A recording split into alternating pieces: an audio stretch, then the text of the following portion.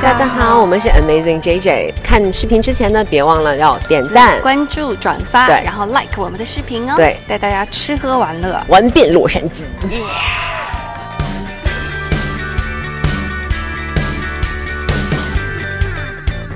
这个飞机场呢，它是一个私人飞机场，然后它位于 Burbank。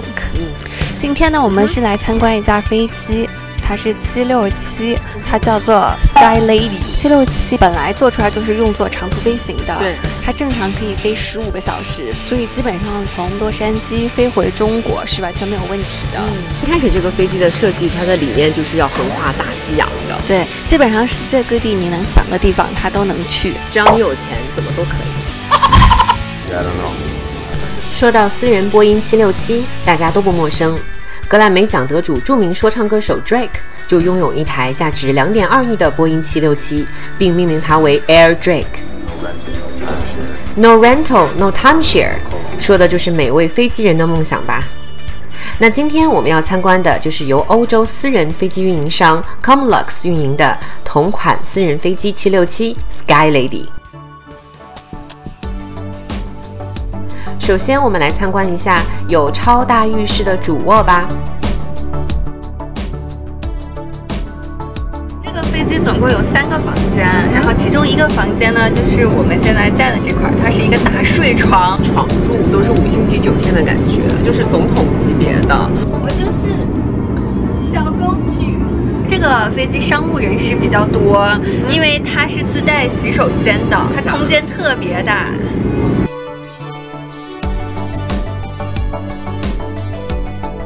哇，那上面都是镜子哎！真的很大哎，我觉得有的人的家里的洗手间还大。出来，它连毛巾啊、浴袍都给你准备好，这边可以吹头发、化妆那。你飞得又舒服，然后你到了目的地之前，你又可以打扮一下自己，然后光鲜亮丽的直接去谈生意。嗯，谈几个亿的生意。然后 Sky Lady 的结构有做过很大的调整，所以可以拥有这么大的淋浴空间。我们去隔壁的客厅看看吧。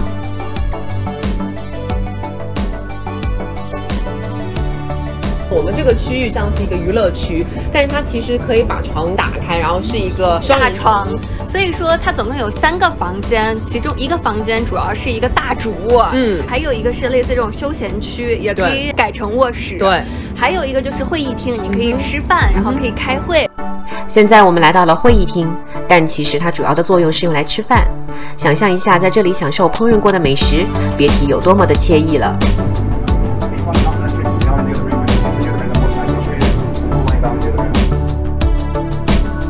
飞机的其余部分是标准座位，尽管已经很奢华了，但也还是区分开了头等舱和高级经济舱。头等舱有十五个可以平躺的贵宾座位，这其实不是我的位置，我只是想给大家躺一下。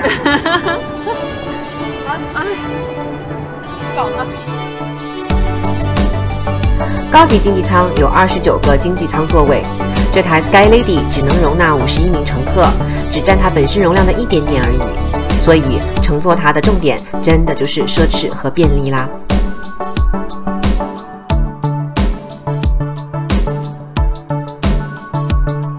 这里对它的名字还是诠释的蛮合适的，因为它这里很 elegant。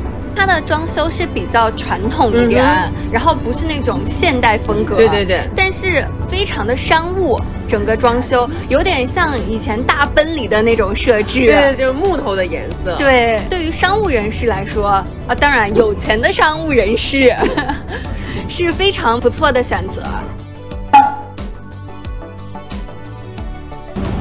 It's a new technology, really. That's, and we're, we're, we're excited to be one of the first companies to use this technology on our aircraft, and it's called ionization. So, down in the equipment bay, where we have all the air conditioning units, we have ionization technology that injects basically uh, negative ions into the air system. So, before you even come on board, this system is completely sterilizing all of the surfaces on the aircraft. And now, while we're talking now, it's in the air as well. So, when it comes into contact with a pathogen or a virus, a bacteria, it, it holds onto that and it, and it kills the uh, kills the virus and the pathogen.